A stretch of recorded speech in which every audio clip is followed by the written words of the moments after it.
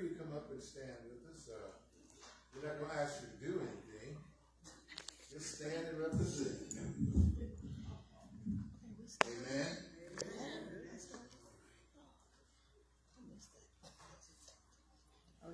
Uh, we will trust in.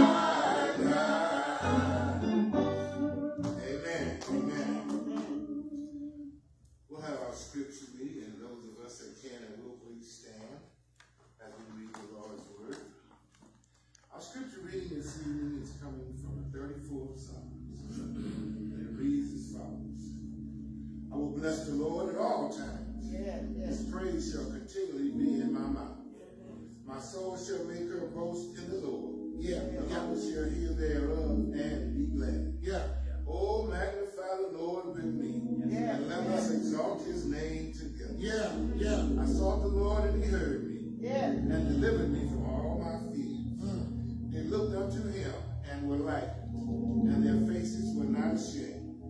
This poor man cried, and the Lord heard him and saved him out of all his trouble. Yeah, yeah.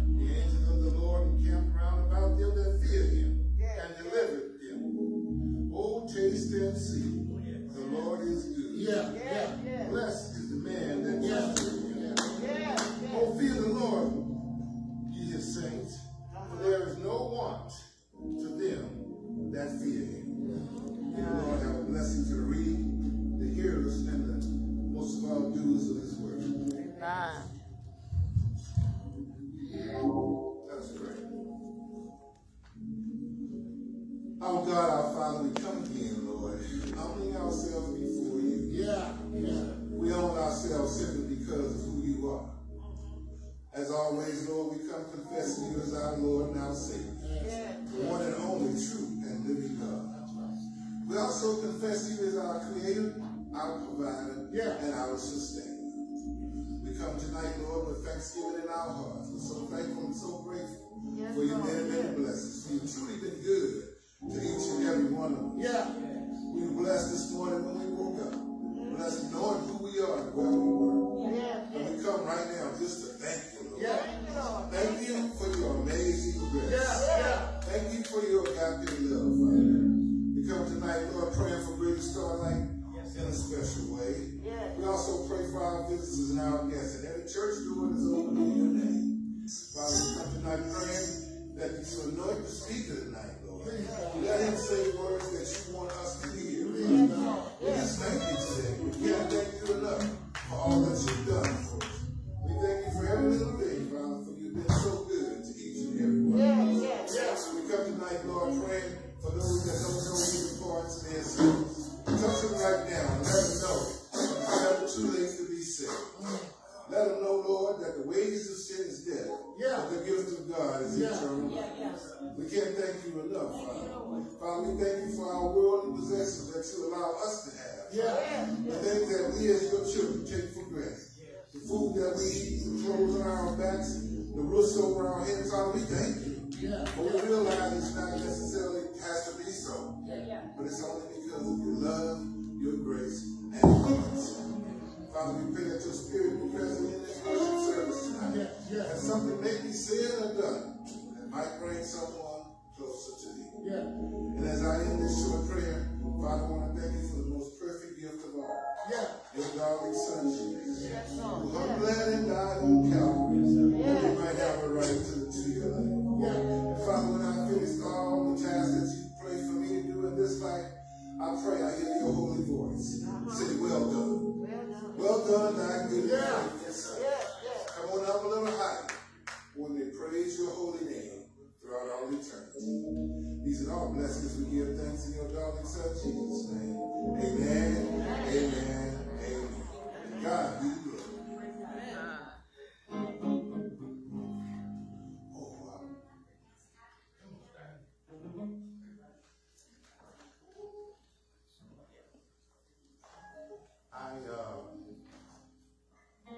found out I'm supposed to be welcome to. Not there yet. I just want to thank each and every one for coming out this afternoon. This is the first night of our revival. And we hopefully hope that you really, really enjoy the word that's going to be presented tonight. And we just, once again, thank you each and every one for coming out. And here at, at, at the Great Starlight, we want you to know that we're certainly happy and thankful for you to be here tonight. We just come, thank you, thank you, thank you. You are welcome. Amen. Amen. Amen. Amen. Do me a favor. Put your hands together for Jesus. Come on, put your hands together for Jesus. Look, I know you've worked all day. Whatever you've done this day, you might be weary. But let me tell you something. There's nothing that ignites us as believers like worshiping God, lifting up His name, and blessing Him for being our Savior. How many know God loved us so much that He sent His only begotten Son, that whosoever believeth in Him should not perish, but have everlasting life. And just in case you missed it, you really didn't have to make it up these dangerous highways. But he allowed you to come up these dangerous highways and kept you that you might come to commune with the community of faith. Is there somebody that wants to give him his proper praise? Come on, look, don't worry about the person next to you. Praise like you know him for yourself. Tell somebody he's a waymaker. Tell somebody he's a the head. Tell somebody, can't nobody do me like Jesus. Hallelujah. Whoa. Come on, let's worship.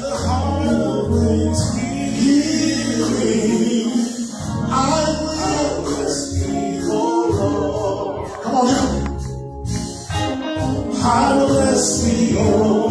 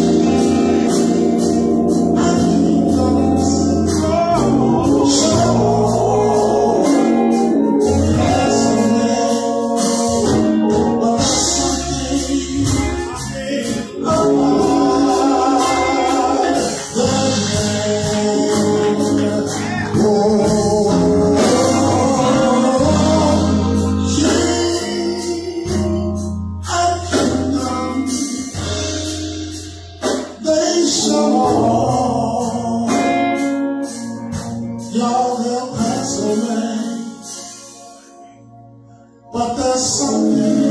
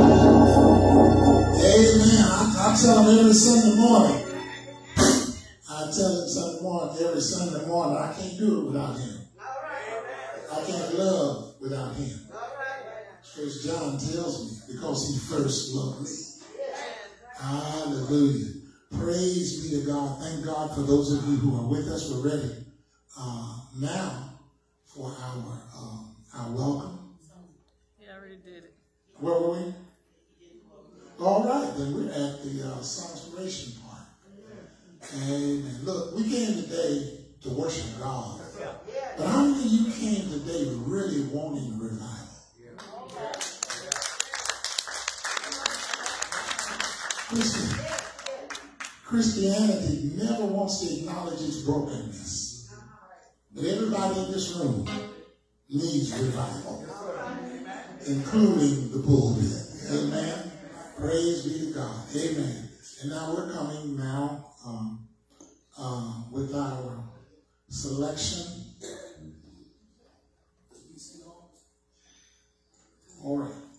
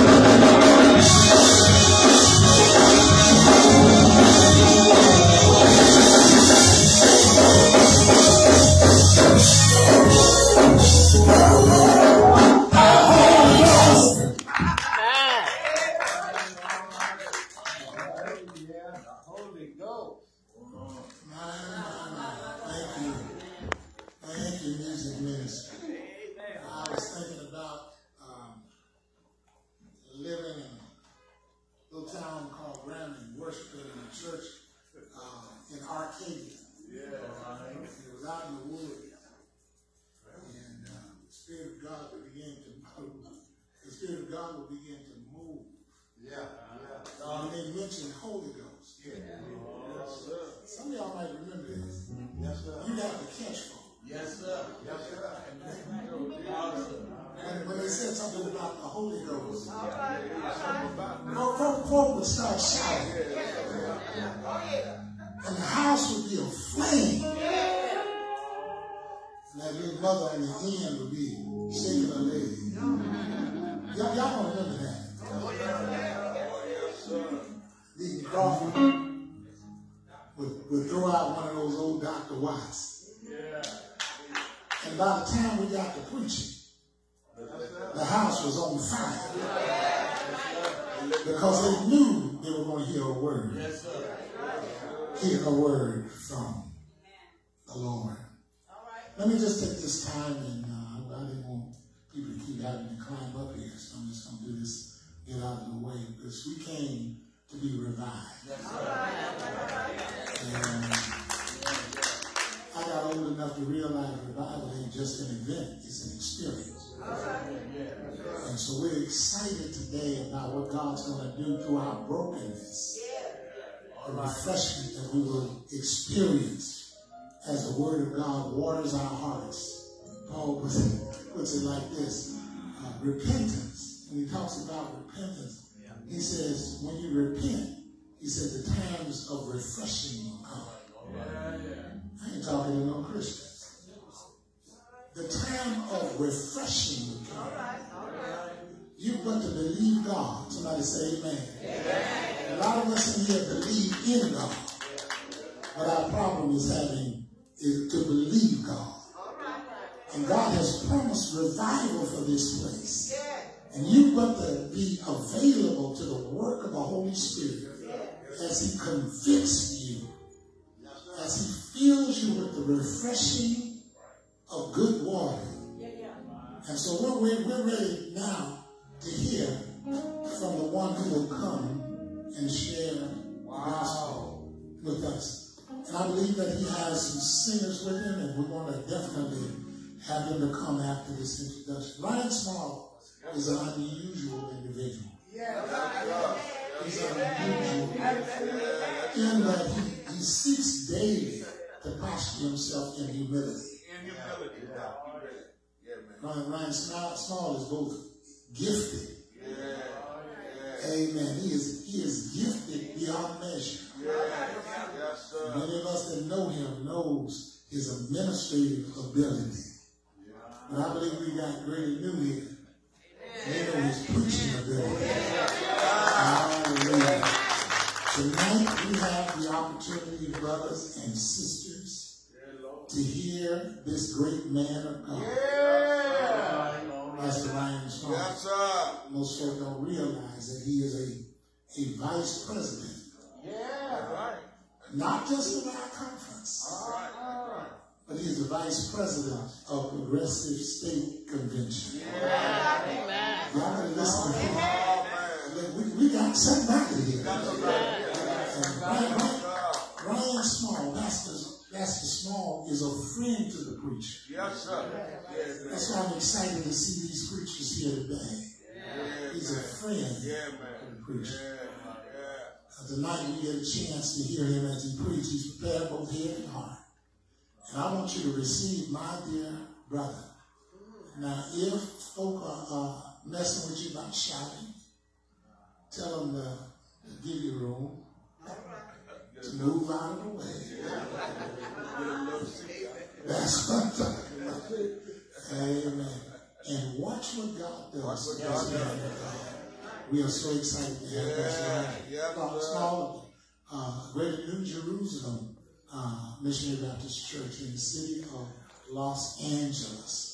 Amen. He says on the website, I mean, no, he didn't say that. He said from the west side. we are prepared today to hear from God. Yeah. Amen. Let me thank these preachers in advance for being here. Thank God for uh, uh, uh, Reverend William Turner. And formerly the pastor, now I believe w- w- what Pastor Emeritus. Yes. I. You uh, uh, uh, New Revelation Baptist Church has pastor there for years. Amen. Praise to God. We're happy uh, to see my dear friend, um, Pastor J.W. Brown. Welcome Baptist Church. It's good to see him. It's good to see Pastor Lovely Haynes. We get along better than you. Pastor Lovely Haynes. Amen. In St. Martin Baptist Church. Um, um, uh, Pastor Walker, who's one of our speakers, Robert Walker. Robert Walker was here with us. We are so blessed. We are in deep, we're in high cotton. We got, we got a president of the state convention. Is it California? California State in, in the person of our dear friend and brother, Pastor Gaddis, Pastor E. Wayne Gaddis. Amen. And, amen. Then we have Dr. Robinson, who is a, uh, the pastor of Community Baptist Church, and that's in Redlands, but also uh, our vice president of our conference. Amen. We're glad to see all of you here. I look out there and I see my president friend, President President Daryl Moore. Come on, give God a hand. Amen. Amen. And the conference, the, the name of the conference, Baptist Minister Fellowship. Amen. Amen. I look to my right I see my comrade, my brother. Amen. Uh, Dr. R. O. Harris. Because uh, R. O. Harris was one on, on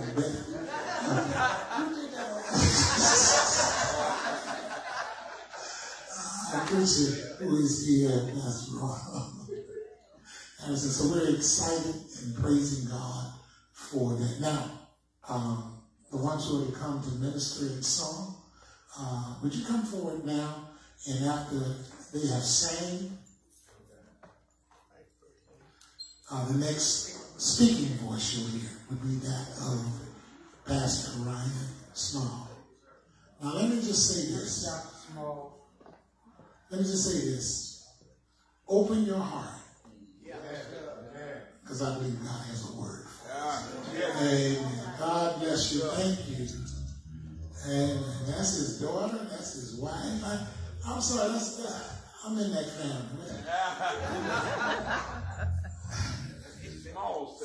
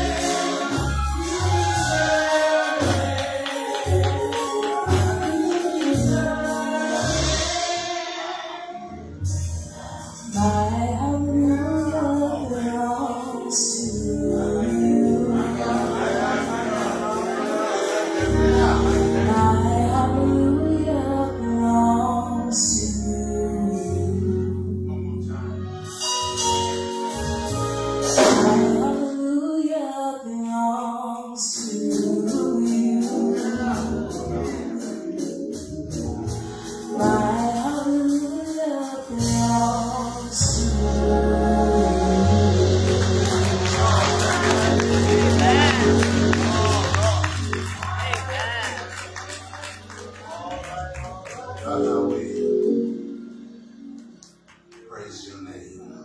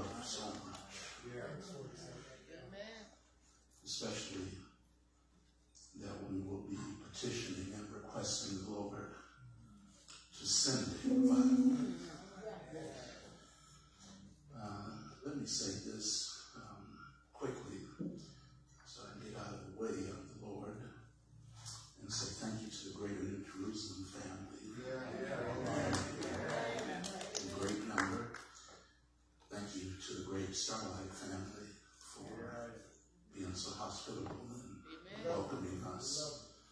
And then they will join in with us. We had uh, a few that were scheduled to sing and rehearse to sing, but for one reason or another, they were not able to make it. Thank God for the Great Starlight Band as well.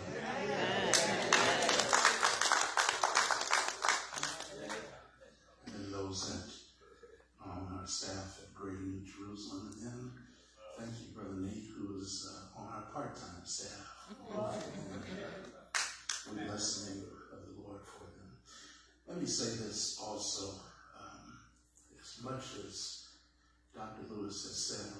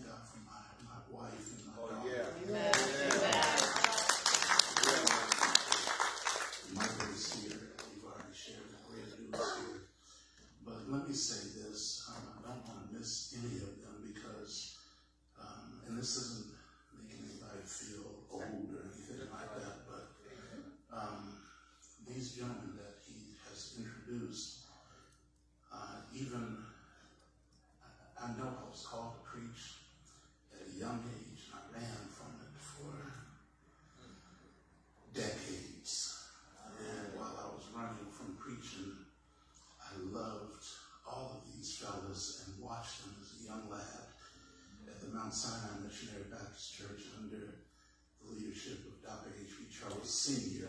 And I was born into that yeah. church. And then um, Pastor H.B. Jr. and I were coming up, we were pals. And then uh, he accepted his call and preach at 11. And I said, but I had been watching all of these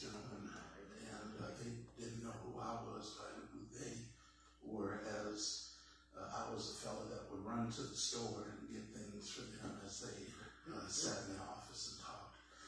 But uh, I have been blessed by all of their ministries, and I praise God for them. Um, hanging out at the conference, I call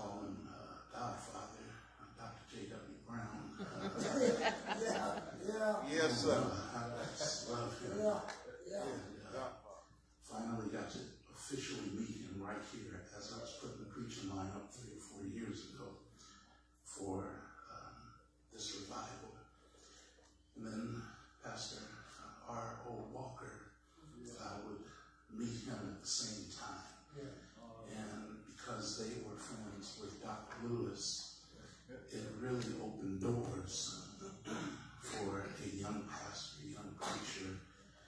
And now I think I have every one of their phone numbers.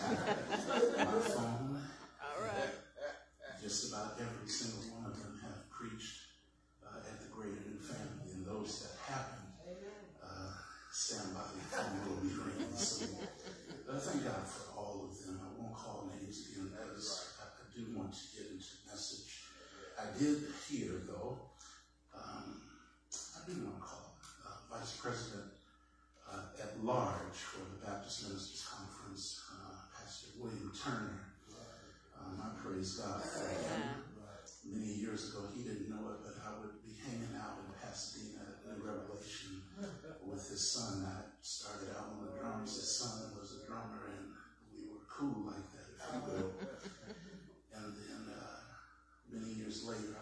myself in the president's cabinet with him at. And that's amazing. The same as Pastor Donald Gray Robinson, Dr. Donald Gray Robinson. Been watching him for many years and just excited to be one of the vice presidents along with him.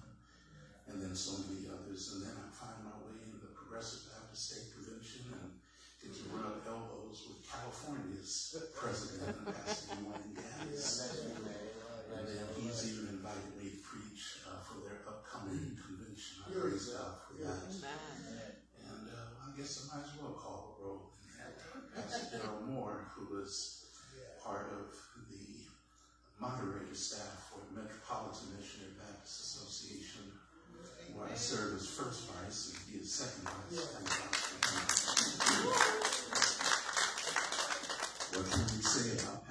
Lovely Haynes? I thank God. Thank you for praying for me before we got out here tonight. And then for Greater Starlight folk, uh, uh, we heard what happened here on yesterday. And thank you for getting the mics fixed uh, after uh, Dr. R.W. Harris uh, wrecked the house, if you will, with John Todd. And then I better say something about the woman that uh, feeds us all on every Monday and does not break the bank, but thank God for M&M's being here. Yes, Sister yes. Tamara, I see her all over Facebook, and she knows every single pastor. And so, Amen. uh, wife, Amen. that's- She feeds me on Monday. And I still have a little money left over on Tuesday. Amen. If I forgot anybody, please forgive me. The Psalm number 80, Psalm number 80, it is a part of the theme. Oh, Lord. Oh, my, my. It is part of the theme. Number 80.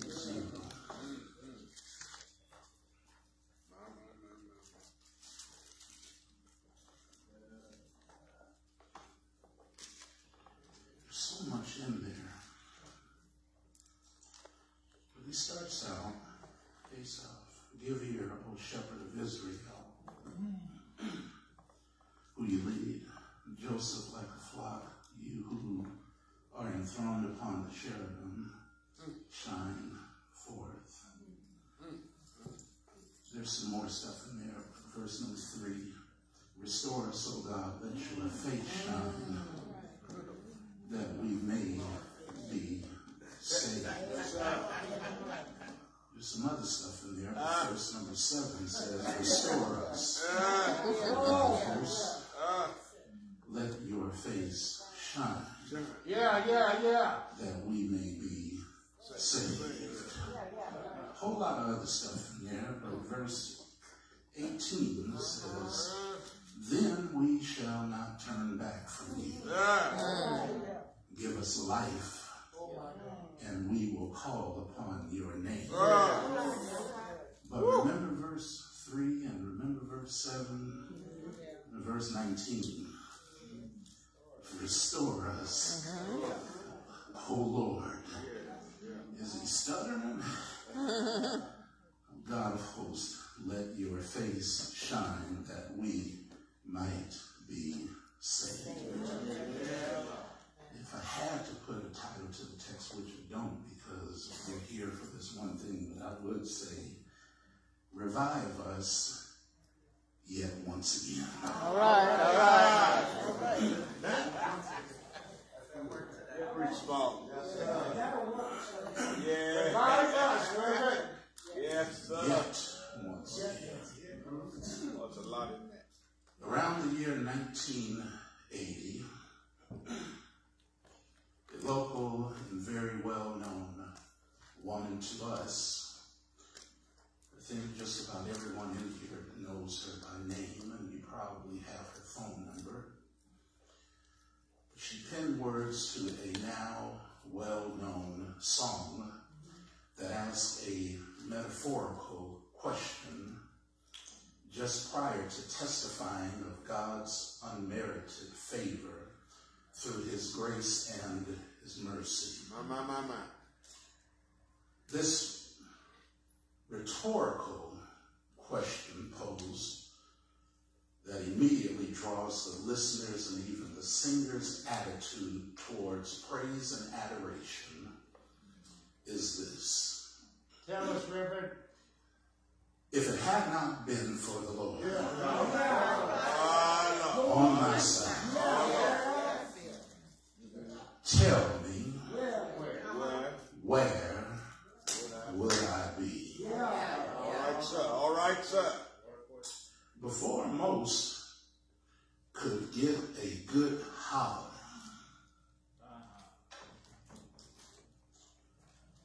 at just the thought of God's goodness, His grace, and His mercies, Well, by testimonies through the lyrics of the song, it was evident that God had did the same for this singer-songwriter as he had done for so many, as just about everybody that has ever sang or listened to this song would agree with this. Yeah, yeah, yeah. He kept my enemies away. He let the sun shine through a cloudy day. come here, come here, come here. Y'all know how he rocked you in the cradle of his arms. Yeah. When he knew what? I had been battered and scorned. So if it had not been for the Lord who was on my side, please somebody tell me where would I be? As a matter of fact, somebody ought to just look back over your life and tell me where would you be if it wasn't for the Lord on your side? Asaph, the psalmist, Psalm number 80, begins this particular prayer by number one, humbling himself by saying, verse number one, Give ear, O shepherd of Israel. Or in essence, humbly appeals to the Lord by acknowledging him as David did in Psalm number 23 when he calls him the shepherd of Israel. Listen at how the psalmist addresses God. Even though he is humble in his acknowledgement of who God is, he also does so with the urgency. Let me see if y'all know this one. He does it with the urgency of a dot, dot, dot, dash, dash, dash, dot, dot, dot.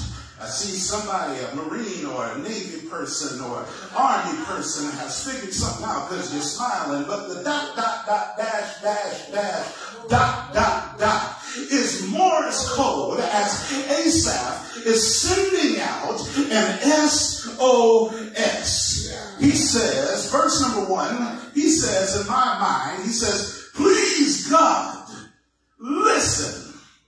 Verse number two, he says, come and save us. But he adds to the SOS, verse number three, when he says, when he please, he says,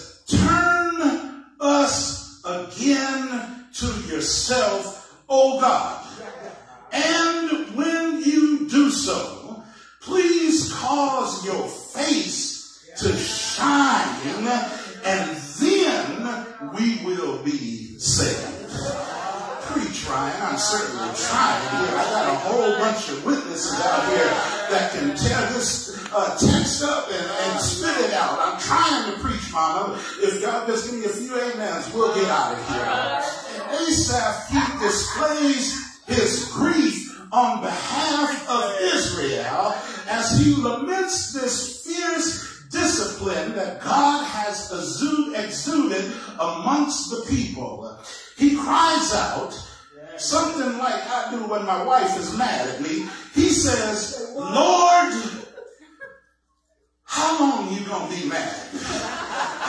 Some of y'all married men know what I'm talking about. Uh, we recognize a very uh, similar displeasure of God throughout the Psalms. Uh, here's some Bible readers in here. Some of y'all know uh, Psalm number six, where David says, "O Lord, rebuke." Me not in thine anger, neither chasten me in thy hot displeasure. He says, have mercy on me, for I am weak. He says, Lord, heal me, for my bones are vexed. He says, my soul is sore. But Lord, how long? Psalm 28. Y'all weren't familiar with Psalm 6, Psalm 28. He says, Unto thee will I cry, O Lord, my rock. He says, Please don't turn a deaf ear to me because if you do, I become like them that go down into the pit. He says, Please, Lord, I don't want to go to hell. So they're crying out, God, I need you.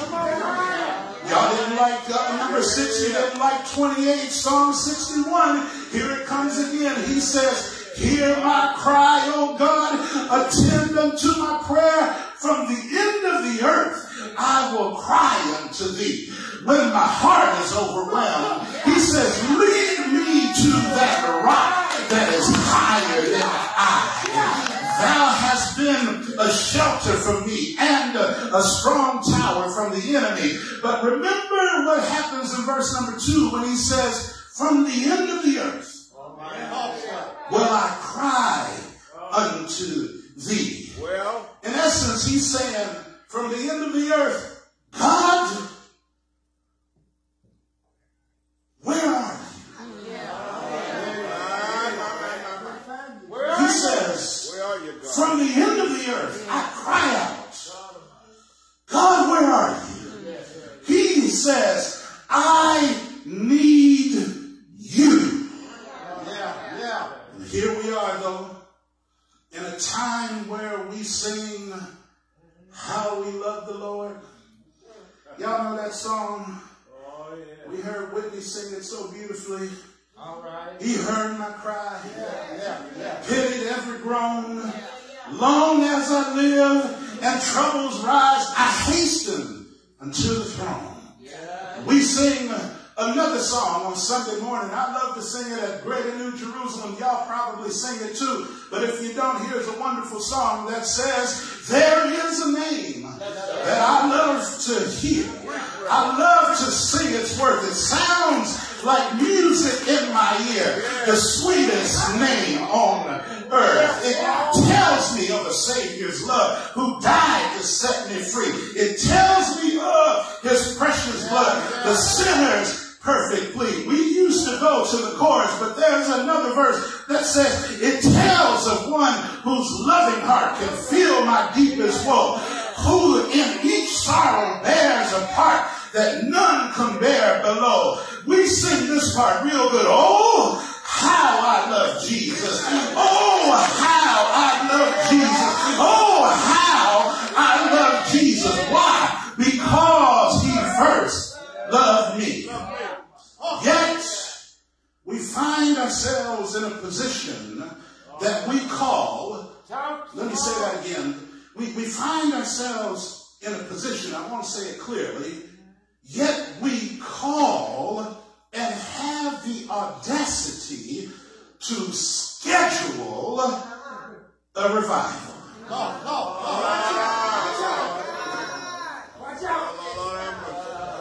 I don't want to get in trouble with you. I don't, I don't want to be. I don't want to be too mannish, uh, Pastor Lewis. I, I do have manners, but please, can I be real just for a minute? Some people ain't gonna like this because I've learned in my few years of preaching that people don't like hearing the negative stuff about them. They just want to hear the good stuff. But, but, but, but here it is.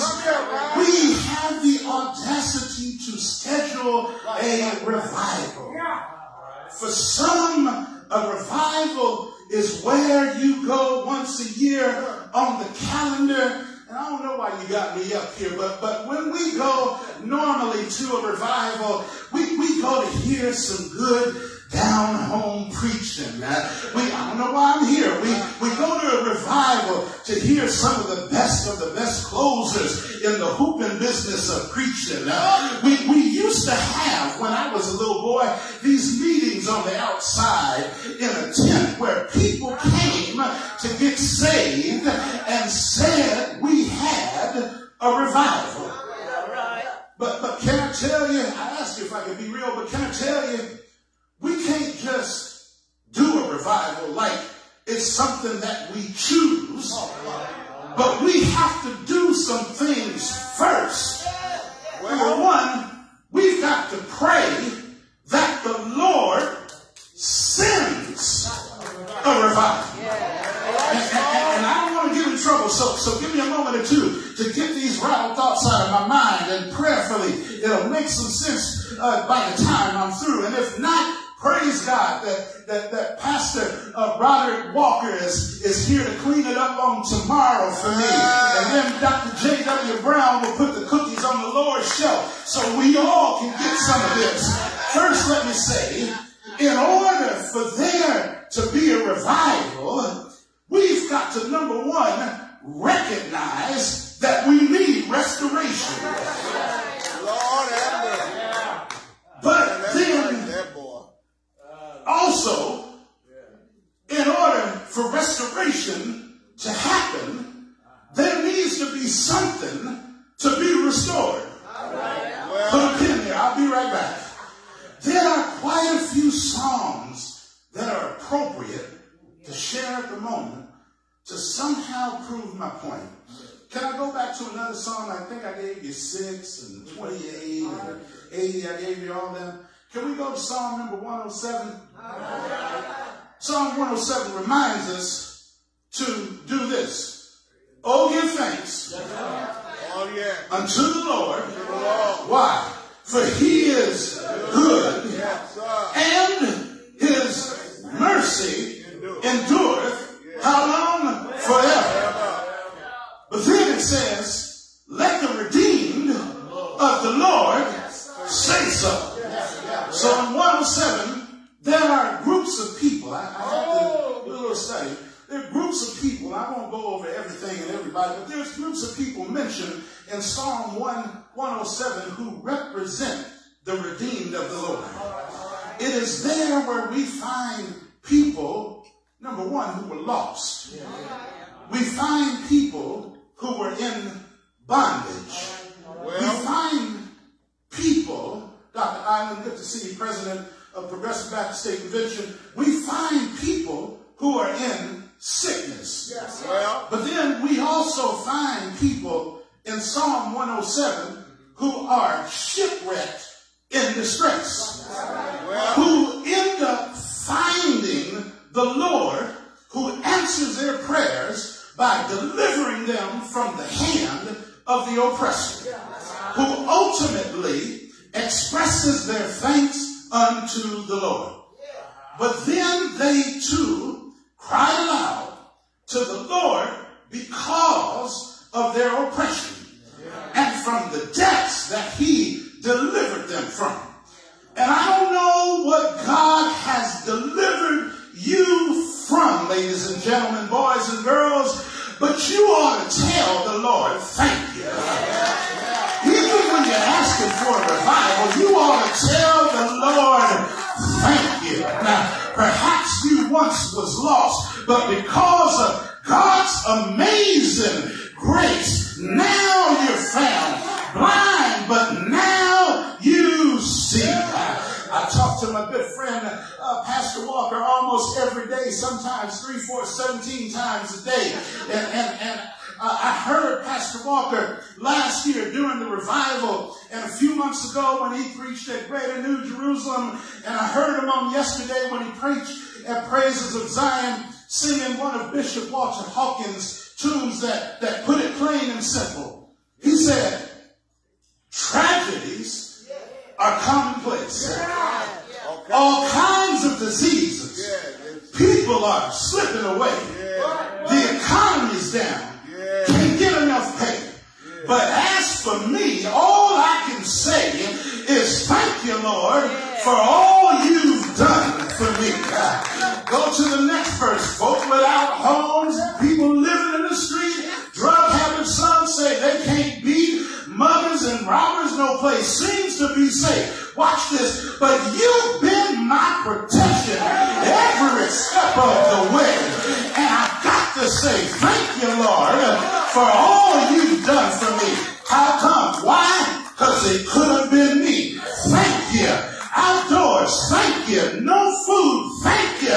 No clothes, thank you. All alone, thank you. With no friends, thank you. Just another number, thank you. With a tragic end, thank you. But you didn't see fit, thank you. To let none of these things be, thank you. Every day by your power, thank you.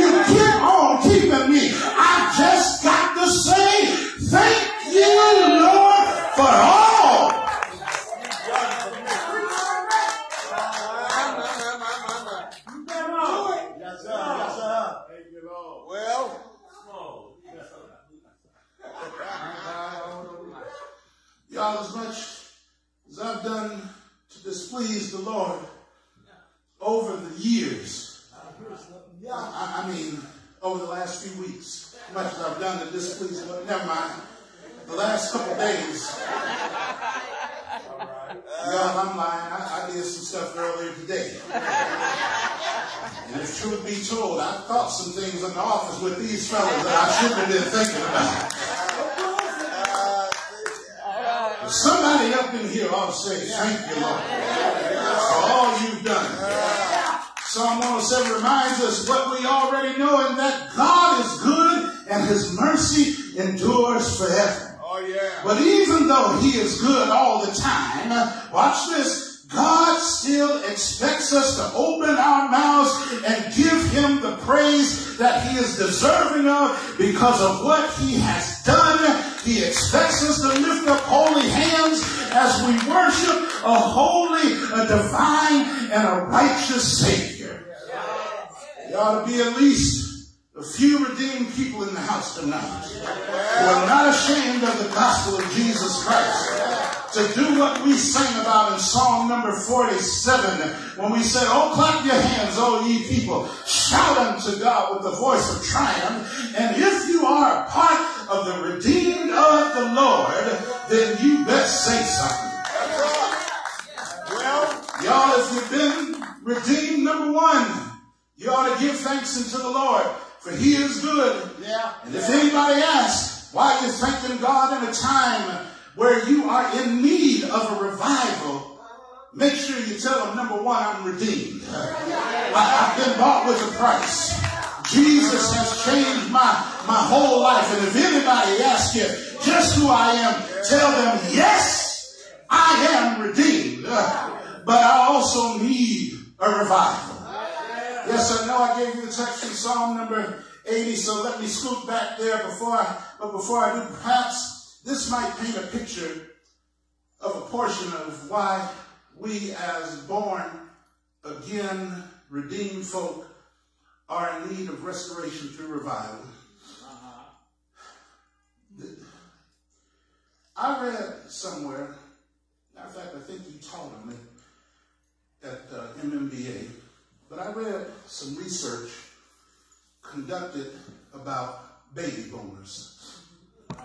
It was about Generation X. It was about Generation Y. It was about Generation Z. And now, believe it or not, we got Generation A.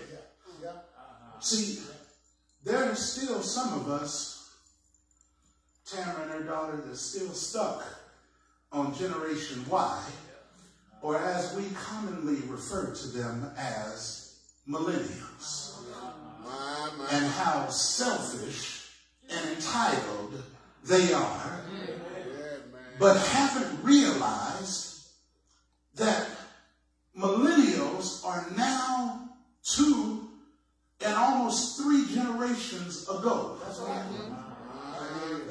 Do you realize that there are some millennials out there who are actually grandparents already. Y'all know that? that? That's another sermon. I, I won't go there. But the research shows that Generation Z, those that are between the ages of 11 and 26 years old, watch this, are the least religious and spiritual generation. Well, The research shows they are losing or they have already lost their spirituality.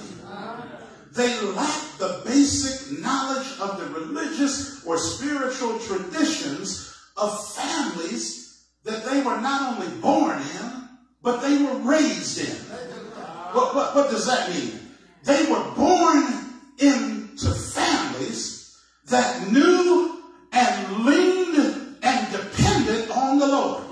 well, They went to church with Big Mama and them, that's right. but they are losing or already have lost all of their interest in spiritual well-being. Well, Generation Z is the least spiritual. Remember, I said, according to research, y'all don't get mad at me, it's research.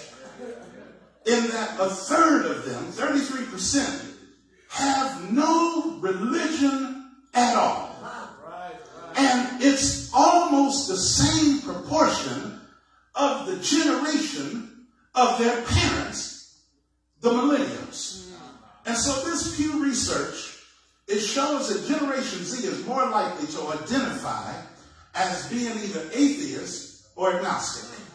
And most of them think that going to church is worthless and a complete waste of time. Y'all, y'all know that Generation Z, they, they'll celebrate a holiday, but they don't believe in the reason for the day, like Christmas. They don't believe that's the day that we celebrate the birth of Christ. They, they'll, they'll celebrate Easter, what we know as Resurrection Day, Resurrection, Resurrection Sunday. And although they'll get dressed up, they'll go out to eat, they might even go to the church house, but it's just to please mama and daddy or to see the children do their Easter speech. But research says some or most of them don't even believe in the resurrection. I'm almost done with this. so, as you can see, and what I just shared about what we are facing with young people, let, let me be clear. It's more than young people who are not staying with the Lord. It's more than young people who are not coming to Christ. But it's a whole lot of us older folk that ain't staying with the Lord either. that's right. Unless I digress too far. But some of us say about some of the young folk when they do stop by the church and don't act the way that they are supposed to when they're in the house of the Lord or when they mess up. Y'all want to know what we say? Didn't your mama and your daddy teach you any better about how to act in the church?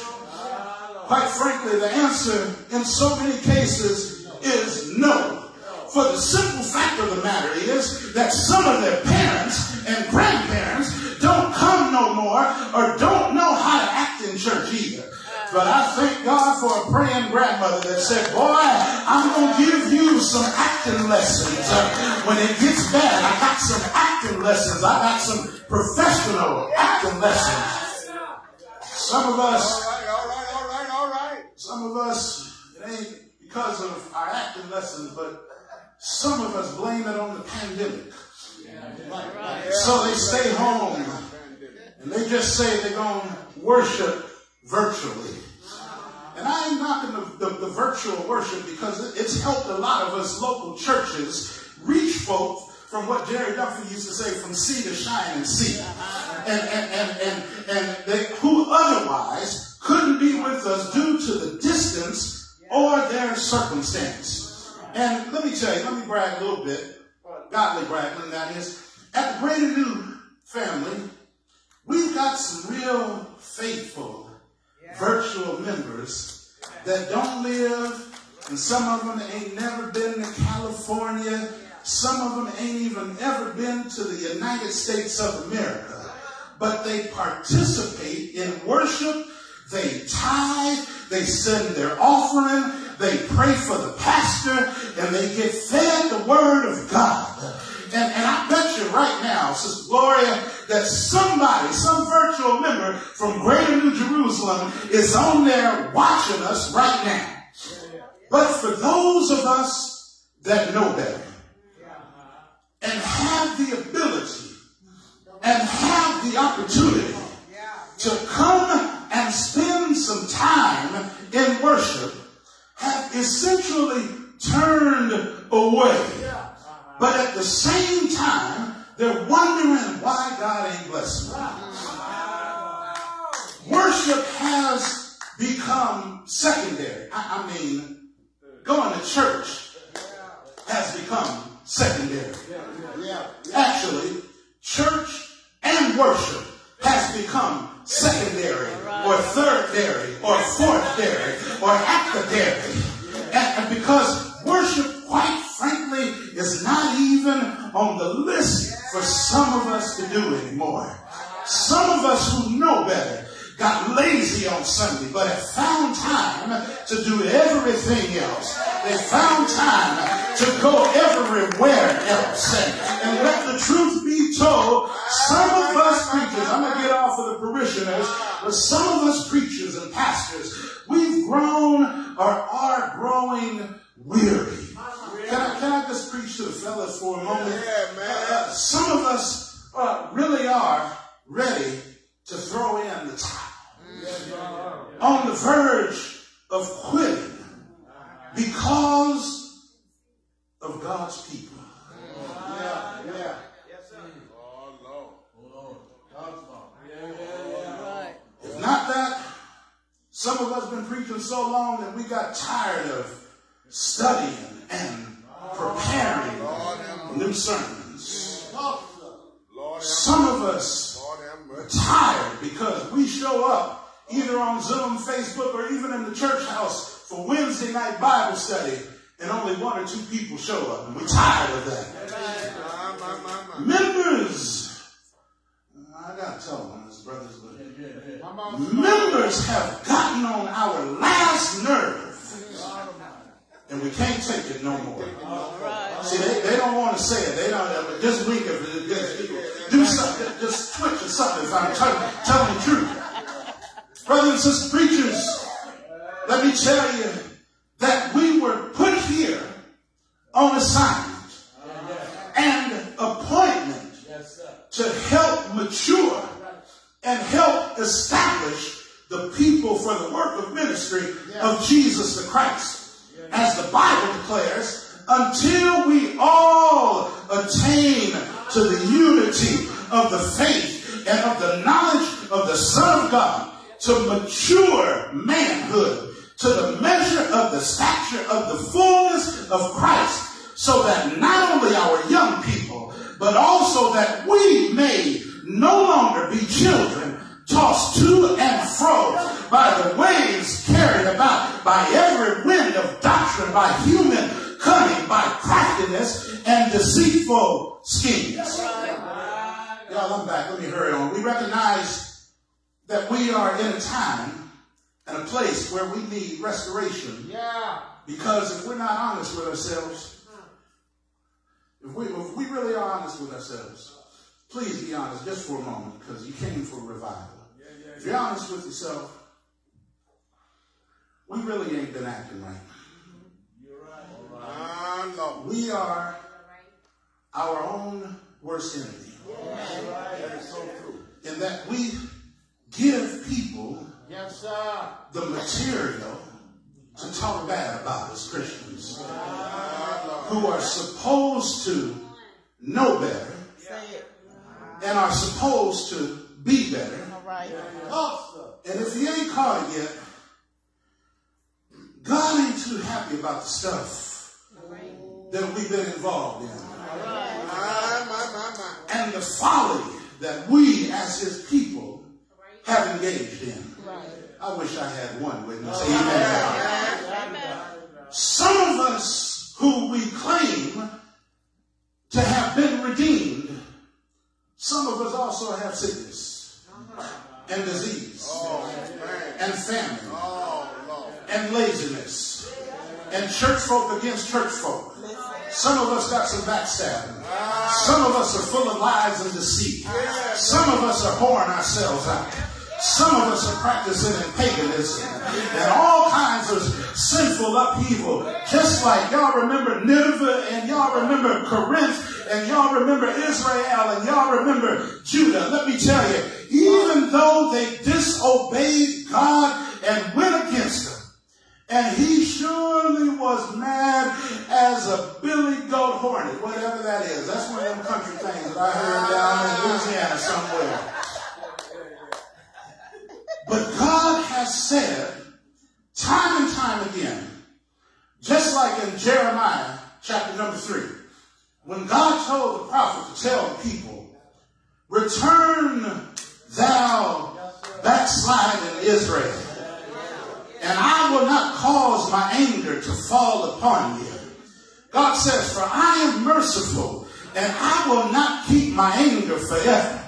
He says, Just acknowledge your iniquity that thou hast transgressed against the Lord thy God. Watch what he says. Turn, O backsliding children, saith the Lord, for I am married unto you, and I will take you one of a city and two of a family, and I will bring you to Zion, and I will give you pastors according to my heart, which will feed you with knowledge and understanding. Ladies and gentlemen, I just took you through 10 minutes of that beating up us pastors to tell you this. When we acknowledge the fact that in order for restoration to happen, we first have to have something that can be restored. And since we've been redeemed by the blood of the Lamb, we do in fact have something that can be restored. And when we recognize we are a redeemed people uh, who have and are some messed up people, uh, hear me when I say we've got to have a serious change of heart and repent of our sins, but then we've got to return and get back to God and then pray that the Lord will send a revival. I'm done. So let me close by saying if a revival, if a real revival is going to take place, first we've got to recognize the fact that we are a messed up people. We've got to recognize who God is. And we've got to realize that God is not happy with how we've been acting. And since we have been redeemed, we've got to And we've got to act like a redeemed people. And as a redeemed people, we've got to repent of our sinful ways, but we've also got to return back to the Lord. Y'all, I told you I'm through, so I'll just start off by acknowledging the fact that, Lord, I'm messed up. And according to the definition of sin, uh-huh. even as a pastor, even as one of your under shepherds, Lord, I can't make it on my own. In my flesh, I can't satisfy. The old wretched man that I am. So I've got to ask you, Lord, can I come on home? Lord, I, I, I want to come home. I, I tried to do it on my own, but I couldn't do it. I, I asked my friends and my loved ones, but they couldn't do it. Well, I even found a few servants of yours, and I asked them, I said, Hey, Adam, can you help me out? Adam said, I'm sorry, but, but I'm a saint with a sinner problem. And when I was in the garden with Eve, I ate the fruit to satisfy myself. I said, Well, how about you, old man Saul?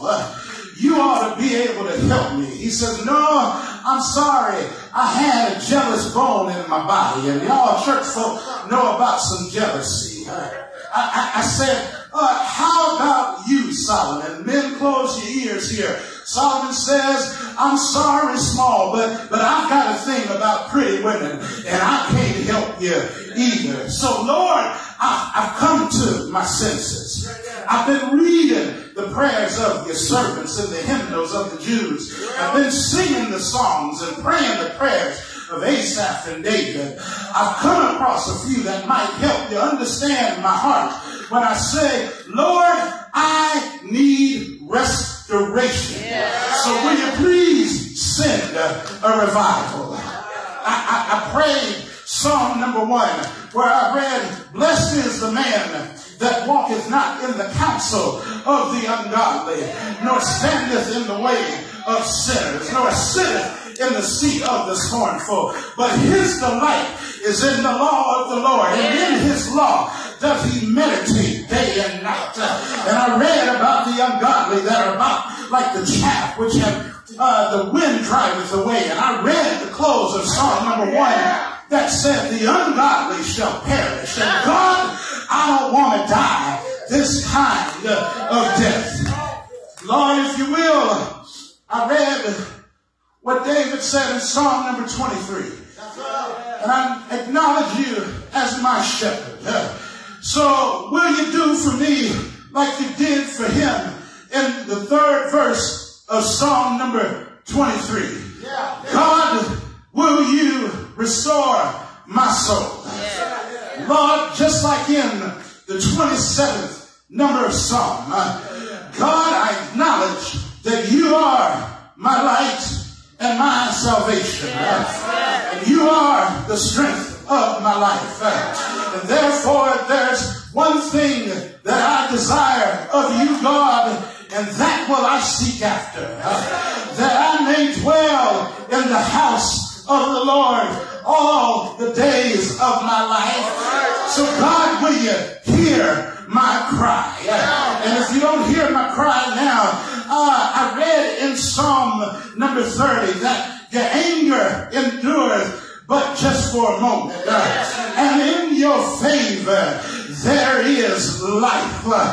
God, your word, I read it there, that said, weeping may endure for a night, but joy coming in the morning. Lord, I, I kept on reading. I got to Psalm number 51 and I asked that you would have mercy on me according to thy loving kindness. God, would you blot out my transgressions? God, would you wash me from my iniquities and cleanse me from my sins? Uh, I acknowledge my sin is ever before me and against thee and only thee have I sinned and I've done wrong in your sight. And although I was shipwrecked in iniquity and in sin did my mother conceive me.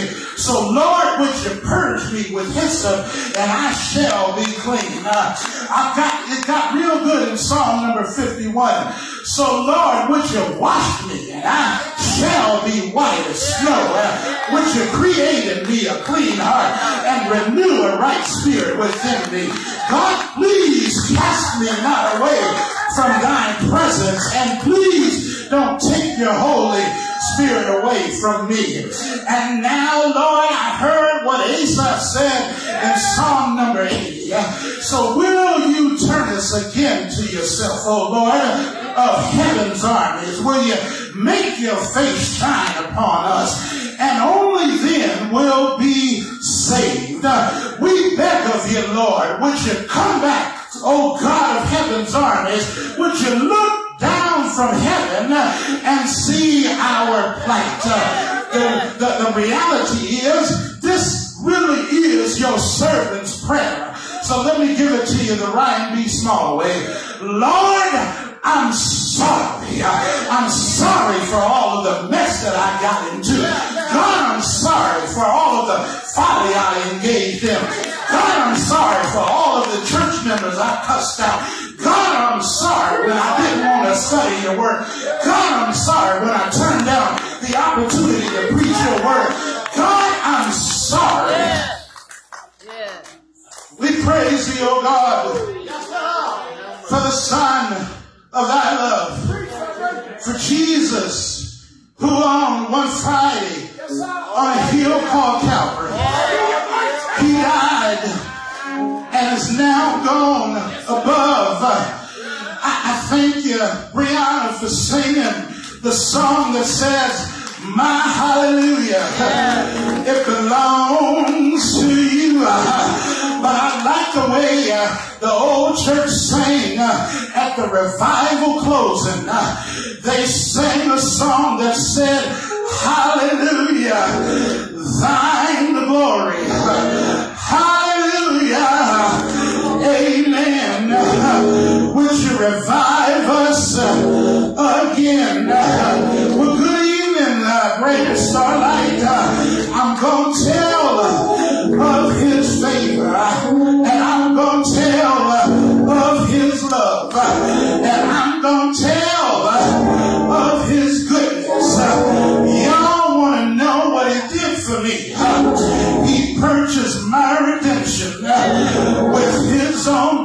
blood.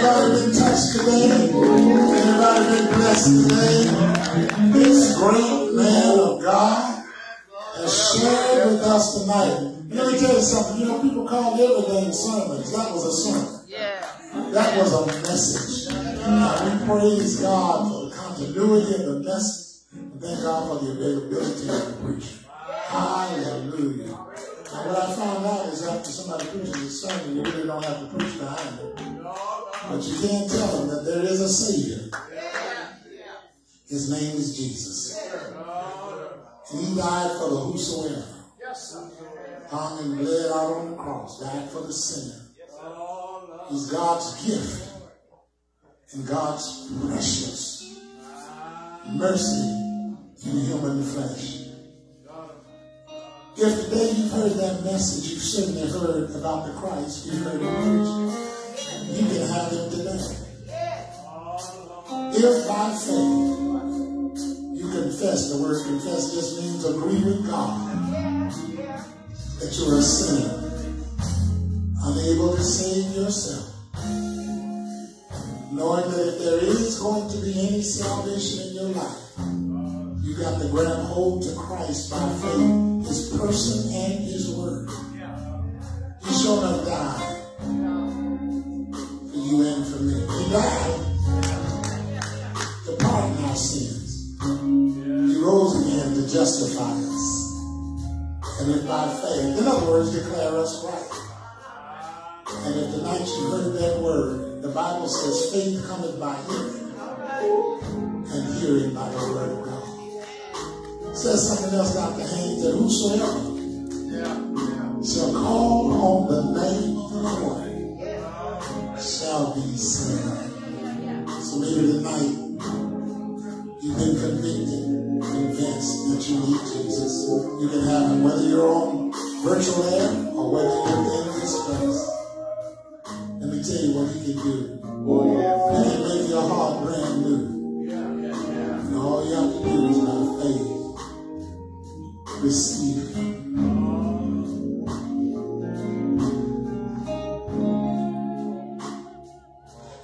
Done that, if you haven't done that, there ought to be an outward show of that inward change. Jesus says, baptize them. You need to be baptized.